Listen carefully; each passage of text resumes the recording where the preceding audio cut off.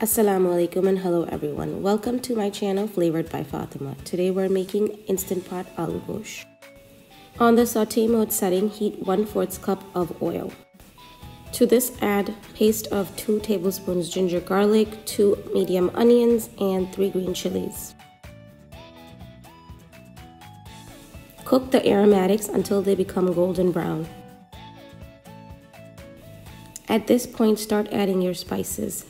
1 tablespoon paprika. Paprika adds color to the gravy. Add a splash of water to avoid burning.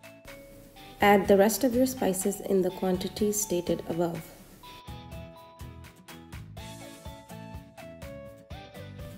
Once you've added all your spices, add the meat and mix everything well.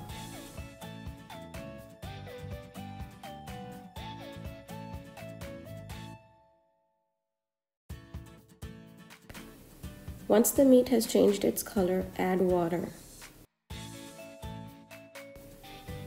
Season with salt according to your taste. At this point, change the IP setting to pressure cook and cook for 25 minutes on normal pressure. After natural release, check on your meat. At this point, it should be 90% done. Add your potatoes and cook for 15 minutes on saute mode. If you are enjoying my videos, please don't forget to subscribe to my channel. Please don't forget to hit the bell icon to be notified when a new video uploads. Also, please follow us on Instagram.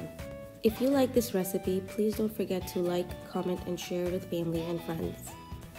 I hope you enjoyed this video. Thank you for watching.